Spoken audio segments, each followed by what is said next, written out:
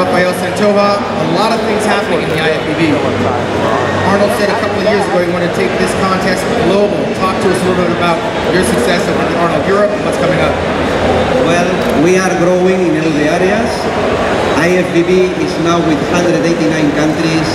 We are organizing globally over 2,000 events. Of course, Arnold Sport Festival is a key part of our program. Columbus is a great opening.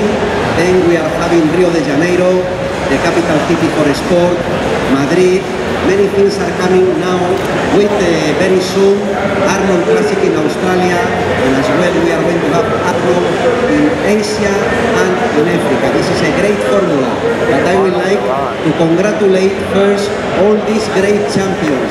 We are proud of you gentlemen. You are More athletes in Australia.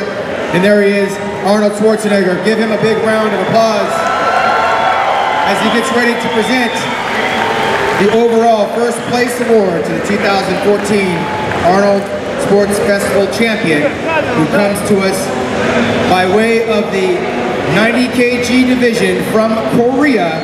Put your hands together for competitor 475, Kung Wong Kang. From Korea, competitor 475, your overall Classic winner. Award being presented to you by Arnold Schwarzenegger, along with uh, the president, Rafael Santonja and Rich Gaspari.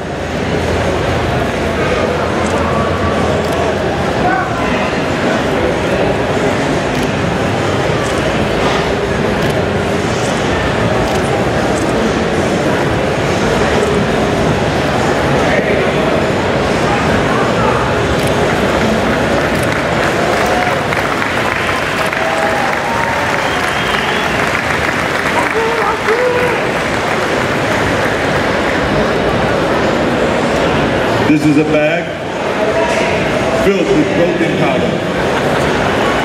Anyway, let me ask you just a quick question for the audience because you never get to hear the bodybuilders and how they train and all this. What did you do in order to have this kind of a great muscularity and uh, great proportions that made you win the day? 20, 22 years. Yeah, weight training. Yeah. Yes. Uh? Uh, How many hours of training a day? uh, 60 day. Yeah. Six days a week. And how many hours?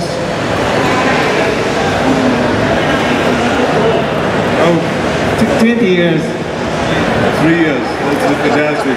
Very good. I, I like you already because you have an accent just like me. Okay. That's my style. Anyway, congratulations for the great victory. And I hope that you say, I'll be back. All right? Stay down.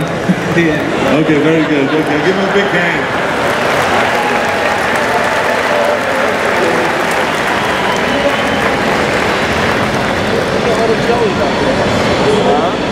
Applause for our champion here at the Arnold Amateur 2014, all the way from Korea.